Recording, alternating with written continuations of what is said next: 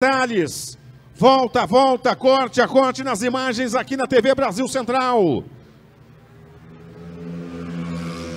Breno Lopes vai tentando se desgarrar, se distanciar do Yuri Bessa.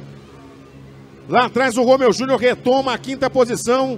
Deixa para trás o Matheus Borges, que é ultrapassado também pelo Marcel de Tripa. Agora são duas voltas para o final.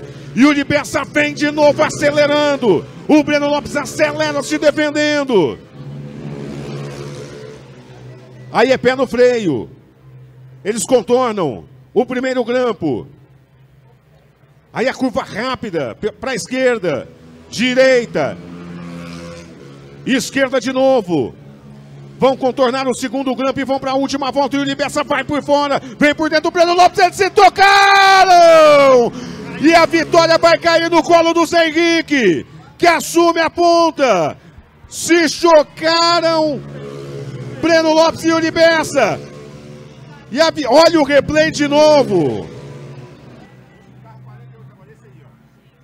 E a vitória no colo do Zé Henrique. Tá ele na imagem. A gente falava pouco uma corrida segura dele. Acompanhando de longe.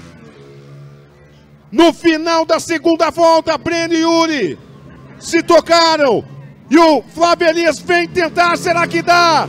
Henrique contorna a vitória dele, do Henrique, quadriculada pro piloto da Machado Gonçalves Motor Esporte. Vibra, vibra, vibra, vibra, Henrique!